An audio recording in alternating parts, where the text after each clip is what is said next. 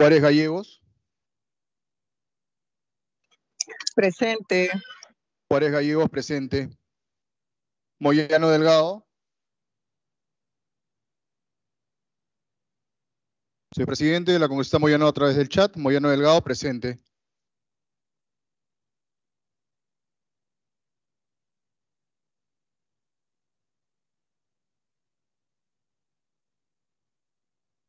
Cerrón Rojas.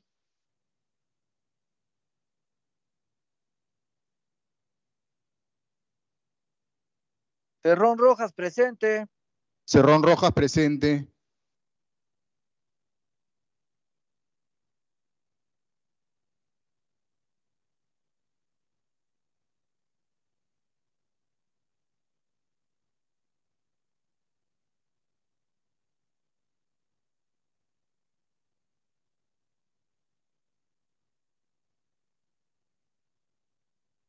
Flores Ramírez.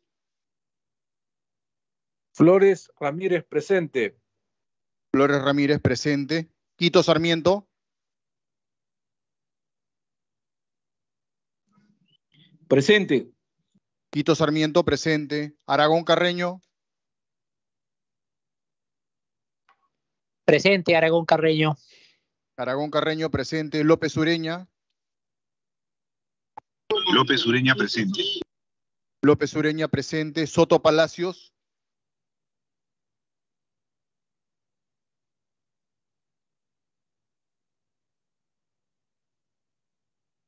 Salguana Cavides, de licencia.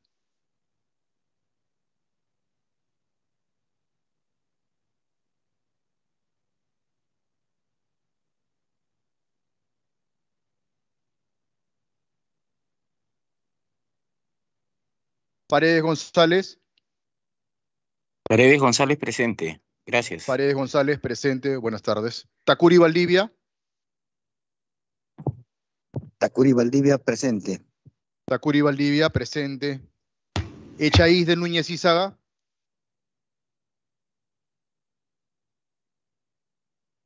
Muñante Barrios.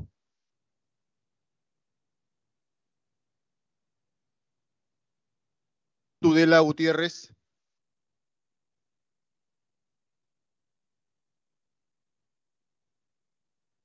Echeverría Rodríguez.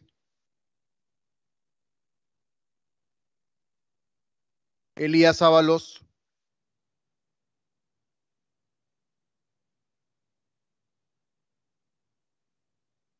Luque Ibarra. Presente, Luque Ibarra. Lu- Luque Ibarra presente. Cutipa Cama. Cutipa Cama presente. Cutipa Cama presente. Pablo Medina de licencia. Segundo llamado, señor presidente, a los miembros titulares de la comisión.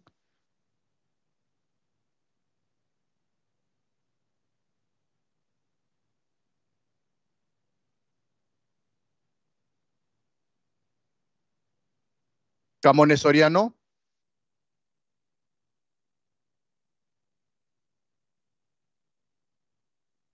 Cabero Alba. Presente. Cabero Alba presente. Señor presidente, la señora Camones Soriano a través del chat, presente en la reunión. Camones Soriano presente. Alegría García. Alegría presente. Alegría García presente. Soto Palacios.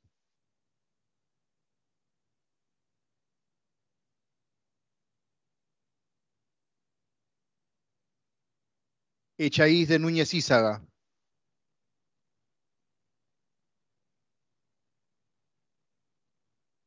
Muñante Barrios.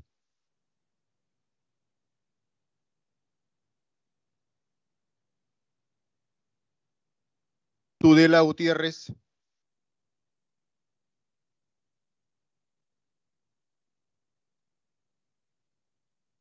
Echeverría Rodríguez.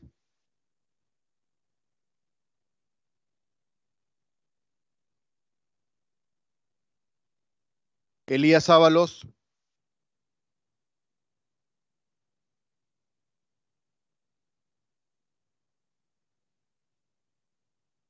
Bárbara Reyes.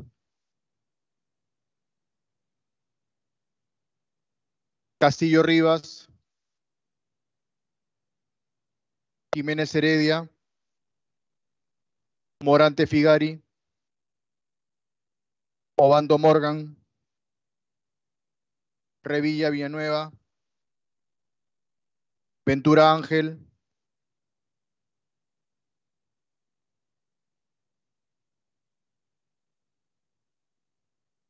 Bellido Ugarte,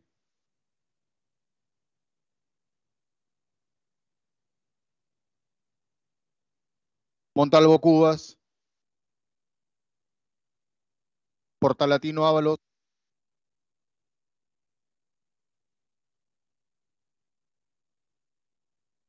Cruz Mamani,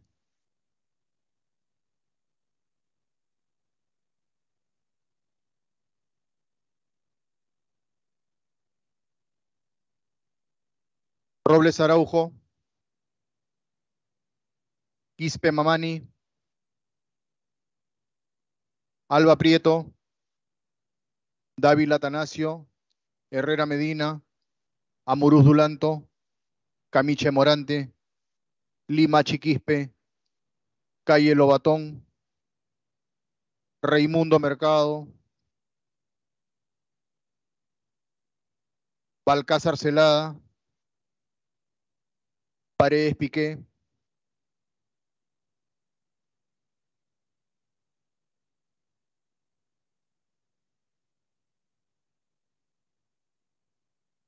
Soto Palacios presente. Soto Palacios presente.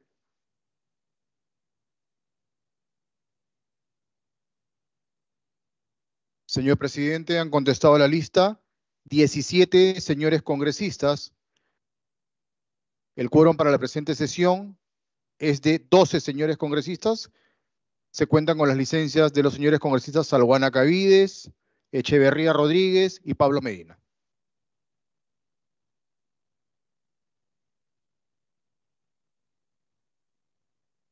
Muchas gracias, señor secretario técnico. Teniendo el, el quórum reglamentario, les recuerdo a los señores congresistas que pueden eh, intervenir por la plataforma del chat cuando lo consideren conveniente, este, lo señalan levantando la mano. Mantengamos nuestros micrófonos cerrados. El señor, el congresista Alejandro Muñante también nos ha confirmado su asistencia. Pasamos a la orden del día. Tenemos el predictamen recaído en el proyecto de ley 4982. Señores congresistas, voy a presentar ante ustedes el predictamen sobre este proyecto de ley eh, que modifica la ley 29158, ley orgánica del Poder Ejecutivo, para desarrollar el encargo y gestión remota del despacho de la Presidencia de la República, proyecto de ley presentado por el Poder Ejecutivo en uso de sus facultades de iniciativa legislativa de acuerdo al 107 de nuestra Constitución. Al respecto, es necesario mencionar que el dictamen que presentamos hoy pretende resolver el problema generado primero por la ausencia de vicepresidentes, que está causada por razones que públicamente son conocidas.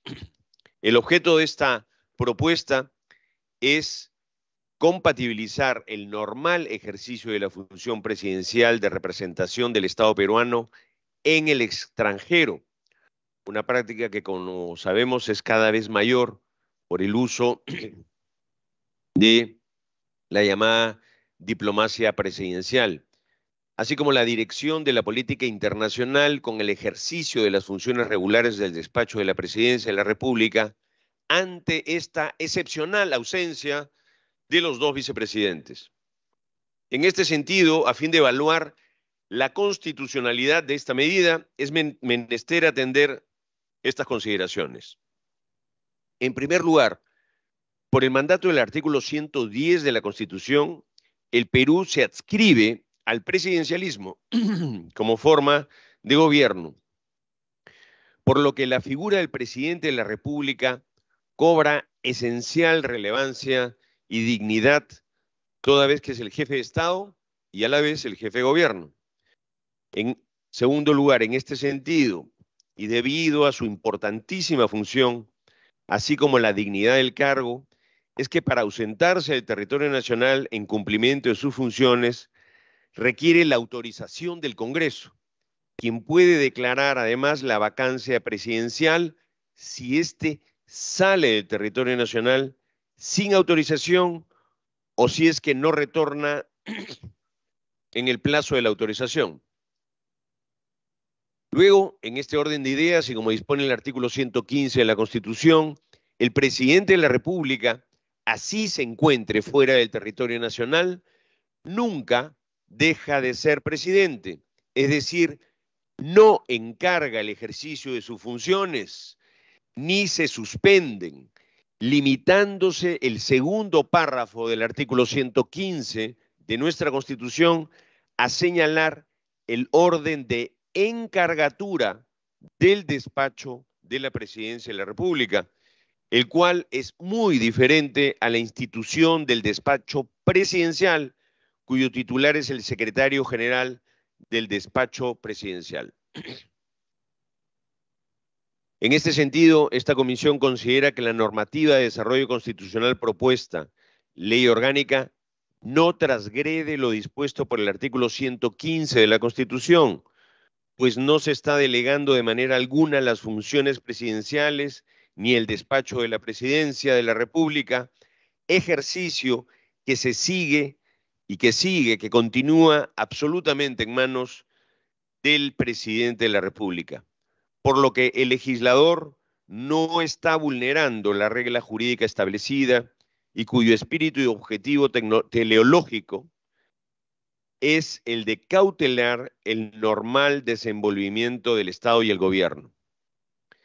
Adicionalmente, atendiendo las nuevas realidades, avances tecnológicos y configuraciones sociales, es responsabilidad del legislador llenar de contenido los preceptos constitucionales a través de la interpretación constitucional, el cual debe realizarse en estricto apego al orden de valores y principios que la Constitución ampara, no solo en sentido material, sino también formal, es decir, acatamiento del contenido sustantivo y adjetivo de lo constitucional. En este sentido, la propuesta normativa no es contraria, no excede el parámetro constitucional dispuesto por el artículo 115 de la Constitución. No obstante, esta comisión propone un nuevo texto sustitutorio que permita compatibilizar de mejor manera dicho dispositivo normativo con el canon constitucional a la luz del principio de razonabilidad y proporcionalidad, por lo que se proponen los siguientes cambios. Primero, modificar la redacción del tercer párrafo de la propuesta normativa presentada por el Poder Ejecutivo respecto al artículo 8A, que se busca incorporar. En este sentido, se reemplaza la frase empleando las tecnologías digitales correspondientes para tal efecto por empleando tecnologías de la información y comunicación, paréntesis TIC, al ser terminológicamente mucho más precisa y no referir a algún tipo específico de tecnología. B. Del mismo modo, en el tercer párrafo del artículo 8, eliminamos la referencia a la resolución legislativa autoritativa emitida por el Congreso, en el que se señala que el presidente de la República se mantiene a cargo del despacho de forma remota, toda vez que la ley orgánica del Poder Ejecutivo, por competencia, no puede normar aspectos relativos a los procesos parlamentarios del Congreso de la República. C. Eliminamos el cuarto parágrafo respecto del presidente del Consejo de Ministros, al ser esta una función propia del mismo, con lo que se elimina también la modificación propuesta al artículo 19 por los mismos fundamentos. D. Finalmente, al ser esta una norma residual, se incorporan como requisito habilitante que la solicitud de autorización de viaje tenga que señalar la urgencia y la necesidad, así como garantizar la seguridad del medio tecnológico, debiendo el Congreso de la República evaluarlo caso por caso. No debemos perder de vista que esta norma tiene carácter excepcional, mas no es una norma con nombre propio, como, la, como mal llamada es en algunos casos, toda vez que el principio de generalidad de la ley solo es quebrado cuando se expiden leyes en beneficio o favor de un determinado sujeto y no cuando estos supuestos normativos son generales u abstractos. Al respecto, si bien la norma propuesta bajo análisis tiene un sujeto identificable como es la presidenta de la República actualmente en funciones, esto no significa de ningún modo el quiebre del principio de generalidad contenido en el artículo 103 de nuestra Constitución, pues a nivel nacional únicamente existe un solo presidente de la República, no teniendo homólogo alguno, por lo que, si bien dicha norma solo alcanzaría la institución de la presidencia de la República, esta tiene, por tanto, carácter general.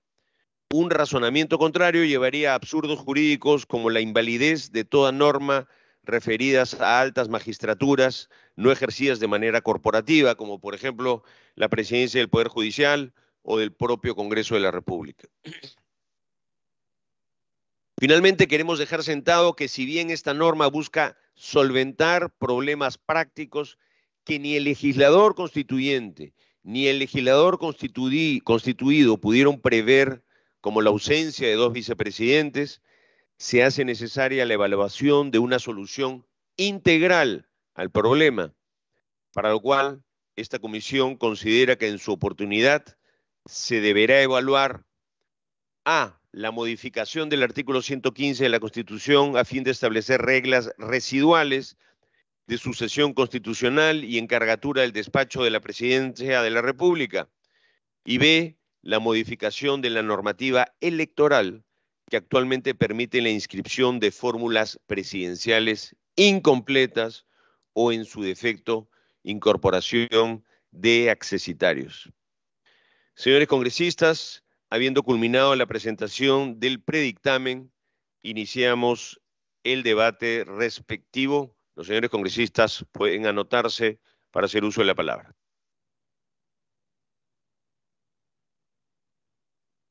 Señor presidente, el congresista Soto. Congresista Soto, tiene usted la palabra.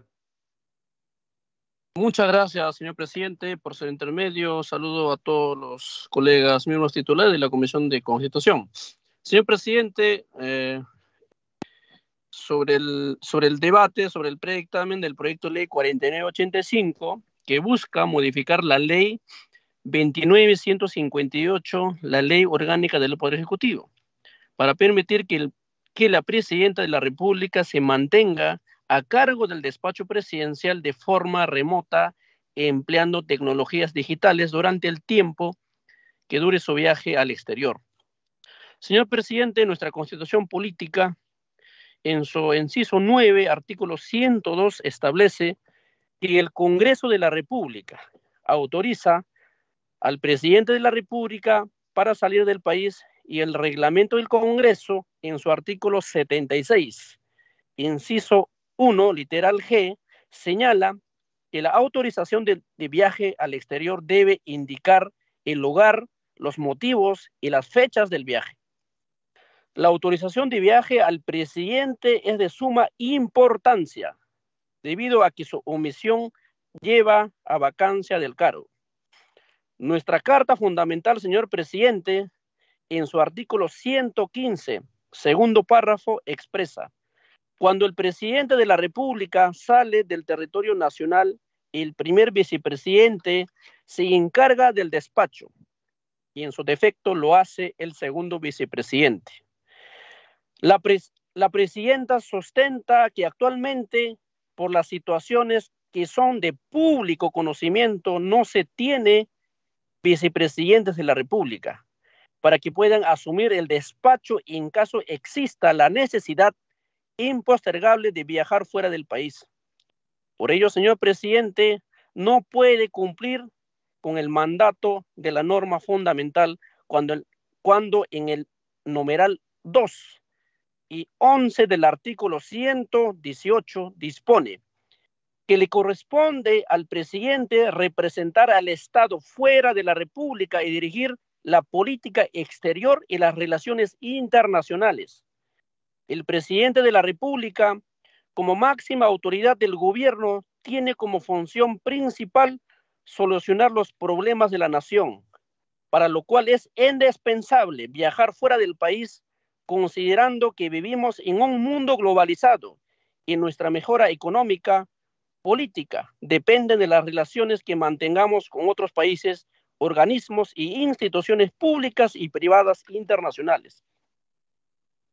En la actualidad, no es posible pensar que un país pueda alcanzar su desarrollo económico, científico, tecnológico, etcétera, aislándose del mundo.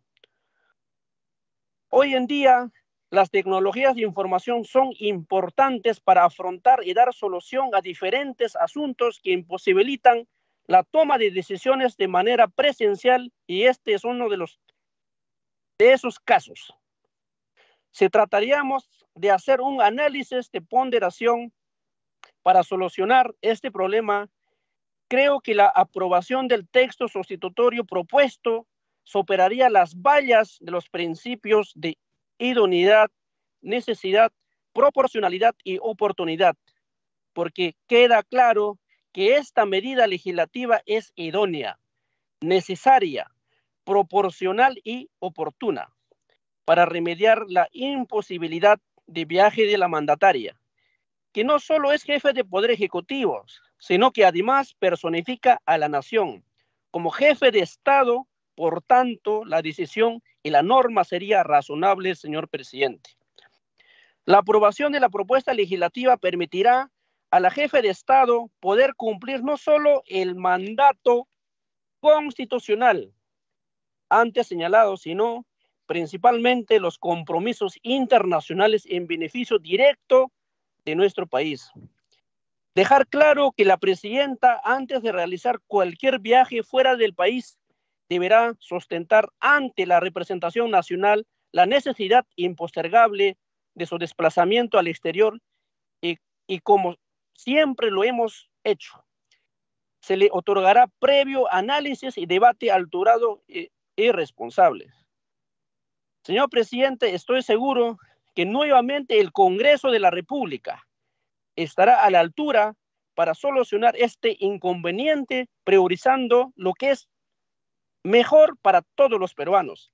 En ese sentido, desde la bancada de Acción Popular, nosotros vamos a apoyar este presente predictamen votando a favor. Muchas gracias. Muchas gracias, congresista. Tiene la palabra el congresista Alejandro Cabero. Gracias, presidente. Eh, efectivamente, creo que este proyecto es, es importante, primero para que la presidenta de la República pueda efectivamente ejercer a cabalidad eh, la totalidad de sus funciones que implican dirigir la política exterior del país y entre ellas evidentemente asistir de manera presencial a cumbres del más alto nivel y poder evidentemente en un diálogo cara a cara con sus colegas arribar a acuerdos que son además importantísimos para el país.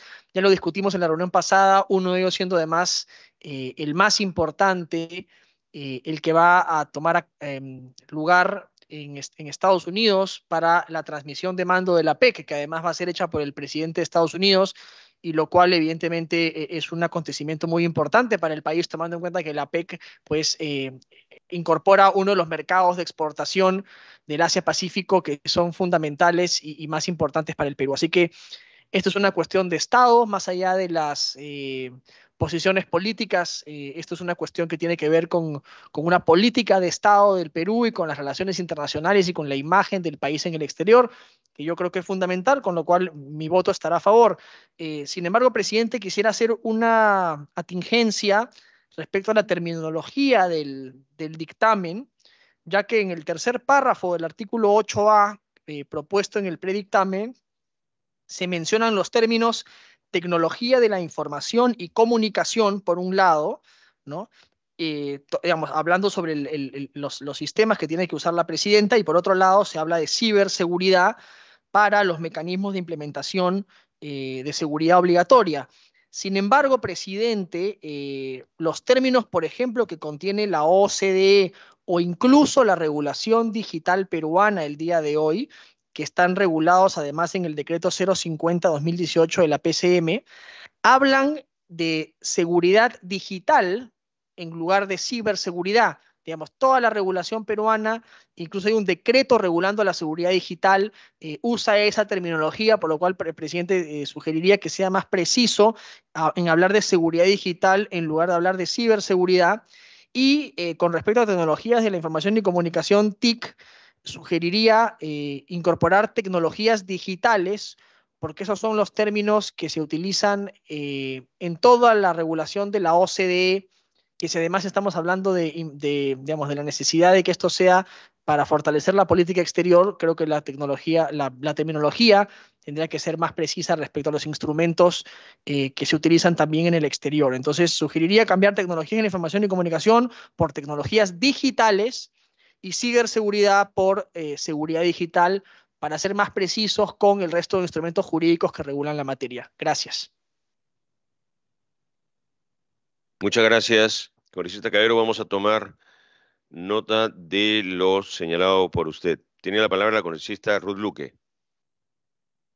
Eh, gracias, presidente. Eh, presidente, entiendo que se ha hecho un ajuste al texto. Eh, sin embargo, yo quiero mantener mi postura eh, de rechazo a esta iniciativa legislativa presentada por el Ejecutivo. Quiero señalar que eh, desde mi punto de vista, se sigue desnaturalizando los parámetros regulados en el artículo 115 de la Constitución. Recuérdese que este artículo prevé los reemplazos en caso de presidente salga del país de modo sucesivo en el primer y segundo vicepresidente. Y hay una línea de sucesión constitucional. Entonces, eh, esta propuesta en realidad no eh, está distorsionando y lo que debió hacerse es, en todo caso, una reforma constitucional. Entonces, eh, de hecho, en el propio dictamen que se ha elaborado y se ha puesto a disposición, incluso eh, asume, digamos, de que hay ciertas debilidades sobre esta iniciativa. Esto se puede apreciar un poco en las páginas 17 y 18, ¿no? Por ejemplo, en el cual señala que se debe tener en, tener en cuenta que la ley de desarrollo constitucional propuesta no contraría el sentido de lo dispuesto por el artículo 115 de la Constitución, pues desde un análisis, desde la perspectiva de la interpretación, los supuestos de hecho que determinan la concreción de la consecuencia jurídica no pueden cumplirse debido a la ausencia de los dos vicepresidentes. Este, esto que afirman este, eh, pretende de alguna manera darle una especie de ley de desarrollo constitucional, pero en realidad lo que está haciendo es ir más allá, ¿no? Y en realidad nos, nosotros, digamos, si quisiéramos darle una salida seria, deberíamos ir más bien por una línea de reforma constitucional y abrir un debate de varios de los temas, entre los que usted mismo ha señalado, pero además de, eh, de cómo eh, poder regular de manera clara estas situaciones que se han generado como consecuencia de esta crisis política. Eh, pero además, presidente, eh, eh, yo sigo afirmando que se sigue generando, digamos, una distorsión de cómo se encarga el despacho de dos distintas maneras. Por un lado, este, tenemos lo establecido en el artículo 115 de la Constitución, no es cierto, y por otro lado, se está encargando ahora a nivel remoto este, para eh, poder garantizar el viaje de la señora Dina Boluarte. Entonces, tampoco ha quedado clara, digamos, en esta propuesta una preocupación que yo planteé en la, en la sesión anterior sobre qué pasa cuando se presentan eh, situaciones de emergencia. Este, acá se está diciendo que solo se trata de temas administrativos, pero a mí particularmente, digamos, no me sigue teniendo claro este, cómo es que eh, en alguna situación que no merite una eh, actuación administrativa remota, pueda afrontarse. Y eso este, puede pasar en cualquier momento. O sea, y esta norma no lo asegura. Este, entonces se asume que así pues la señora esté lejos, ¿no es cierto?, a, a kilómetros de aquí del Perú, asumirá pues la responsabilidad de todo lo que suceda, porque no entiendo este, quién la podría reemplazar, ¿no? Porque en la anterior propuesta se daba a entender que era el premier, pero en este caso, digamos, ya se ha mencionado que no tendría sentido digamos, hacerse esa mención, porque finalmente él desempeña un conjunto de tareas administrativas. Eh, pero además creo que es importante tener en cuenta, presidente, ya como lo dije en la anterior sesión, que otros países de Latinoamérica sí han este, regulado cuestiones sobre temas de delegación. Eh, justo la Constitución de Colombia, por ejemplo, en su artículo 196 dice lo siguiente, cuando el presidente de la República se traslada a territorio extranjero en ejercicio de su cargo, el ministro a quien corresponda, según el orden de precedencia legal, ejercerá bajo su propia responsabilidad las funciones constitucionales que el presidente le delegue, tanto aquellas que le son propias como las que ejerce en calidad de jefe de gobierno. El ministro delegatorio pertenecerá al mismo partido, movimiento político del presidente, digamos. Eso es un poco la forma como Colombia este, ha planteado una salida. Chile de la misma manera, se encuentra a nivel constitucional en su artículo 29, digamos, reza, digamos, también una salida de otra forma. Lo mismo en Nicaragua, y bueno, hemos visto que este, de estos ejemplos un poco las salidas siempre han sido por la línea de desarrollo constitucional. Este, entiendo que este, algunos sigan planteando que la necesidad de la presidenta sea de eh, representar al, país. A mí me queda claro que la función del presidente es, este, representarlo a nivel externo. ¿No es cierto? Y yo justo recordé en la anterior sesión que fue precisamente al señor expresidente Castillo al que se le impidió sus tres salidas y siempre los argumentos eran que tenía este, investigaciones. La señora Ina también tiene investigaciones. Hace poco el relator de Naciones Unidas ha estado aquí ha ratificado lo mismo que el informe de la Comisión Interamericana ha advertido. Tenemos, creo, una situación sumamente grave interna aquí el país a nivel del dengue, a nivel de otras situaciones como el tema de las heladas, el friaje que están abordando y este, sinceramente no, por lo menos yo sí creo que es innecesario pensar en una salida de esta naturaleza porque termina siendo casi este, sacarle la vuelta cuando en realidad deberíamos generar un debate constitucional de esta propuesta. Así que mi voto será en contra de lo que se ha planteado. Gracias, presidente. Gracias, congresista. ¿Algún congresista más va a hacer uso de la palabra? Bien. Señor secretario técnico, vamos a llamar lista para la votación. Presidente, presidente, congresista Cutipa.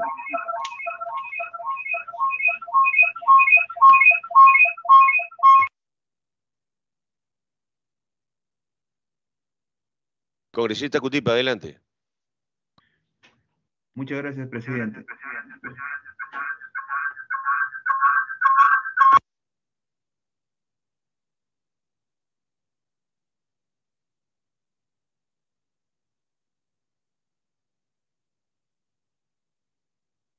Congresista Cutipa, adelante. Sí, presidente. Presidente, tengo problemas en la línea. Tengo problemas en la línea.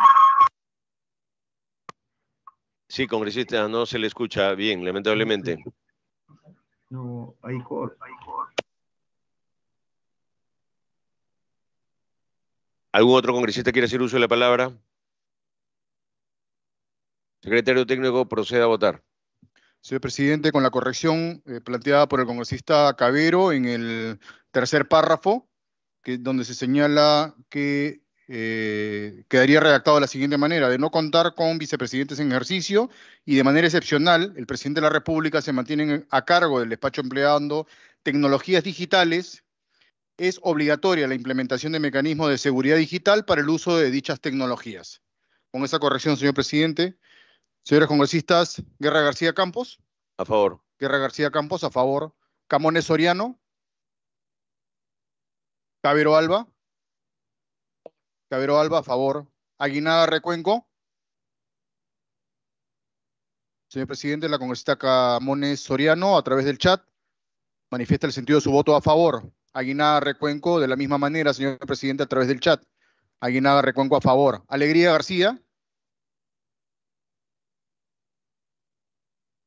Juárez Gallegos. A favor. Juárez Gallego, a favor. Moyano Delgado. A favor. Moyano Delgado a favor. Cerrón Rojas.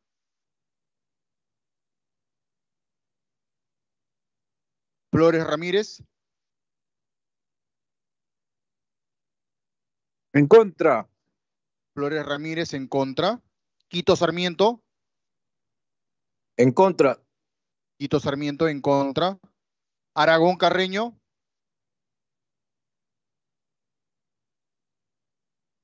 A favor. Aragón Carreño a favor, López Ureña,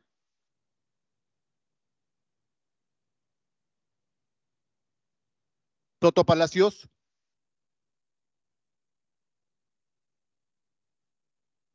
Cerrón Rojas en contra. Cerrón Rojas en contra, Soto Palacios, Salguana Cavides, licencia.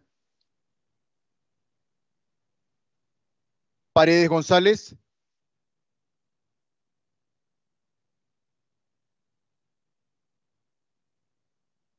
Tacuri Valdivia, Abstención. Tacuri Valdivia, abstención. Echaíz de Núñez Izaga, Muñante Paredes, Barrios, Paredes González en abstención, por favor. Paredes González, abstención. Muñante Barrios,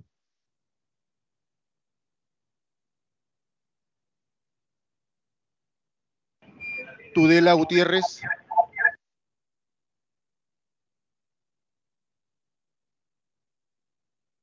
Echeverría Rodríguez, licencia. Elías Ábalos,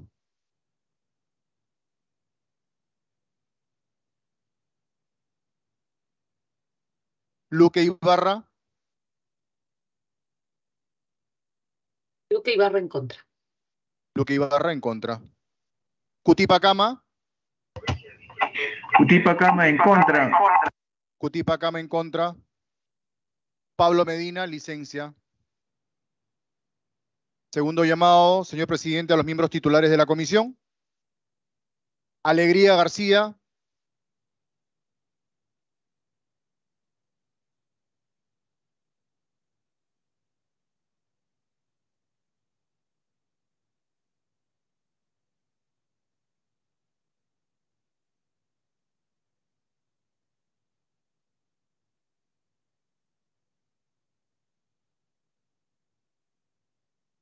López Ureña,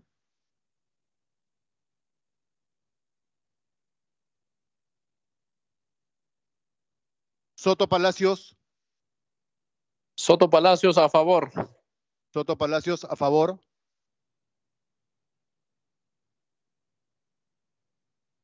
López Ureña,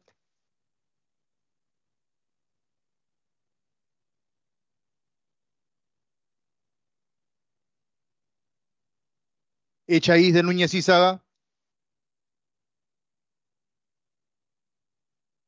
Muñante Barrios,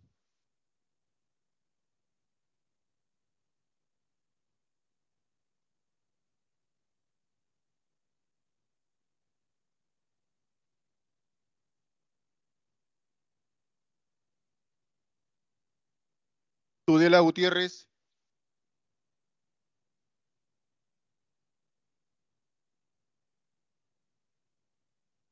Elías Ábalos,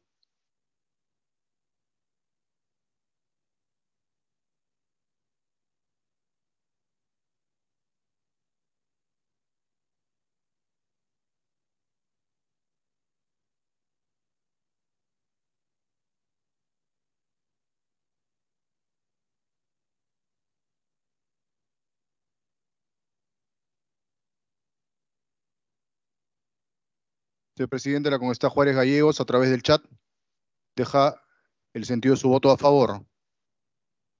Alegría a favor.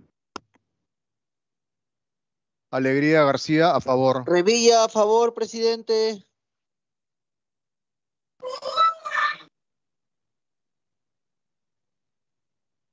Señor presidente, el congresista Paredes González, a través del chat, cambia el sentido de su voto de abstención por voto a favor.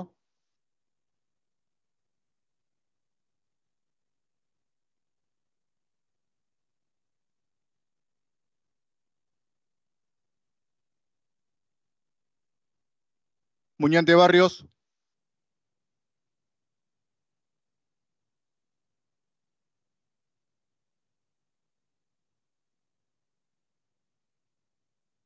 López Ureña.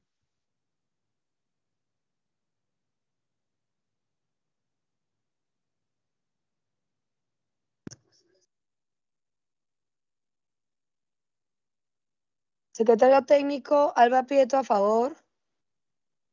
Reemplazando a López Ureña. Alba Prieto a favor en reemplazo del congresista López Ureña. Herrera Medina. Amuruz Dulanto.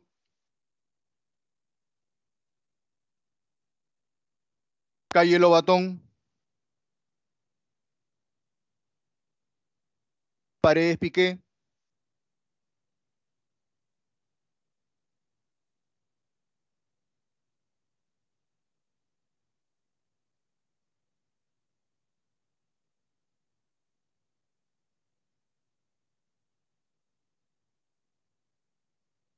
Señor presidente, el resultado de la votación es el siguiente. 11 votos a favor, 5 votos en contra, una abstención. Ha sido aprobado el dicta- predictamen en mayoría. Gracias, señor secretario técnico. Ha sido aprobado el dictamen recaído en el proyecto de ley 4985 que propone la ley que modifica la ley 29158, ley orgánica del Poder Ejecutivo, para desarrollar el encargo y gestión remota del despacho de la Presidencia de la República. Se consulta la dispensa de trámite de sanción del acta para ejecutar los acuerdos adoptados en esta sesión. Si no hay oposición, Señores congresistas, la dispensa de trámite de sanción del acta para ejecutar los acuerdos ha sido aprobado por unanimidad, siendo las 3, las 15 horas y No es 59 unanimidad, minutos. presidente. No es unanimidad. Por mayoría, perdón.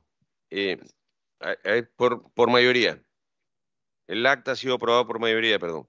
Siendo las 15 y 59, levantamos la sesión. Agradecemos la asistencia de la Secretaria de Gobierno Digital, Maruska Chocobar, y de la asesora del despacho presidencial, Liliana Marchena, que nos acompañaron.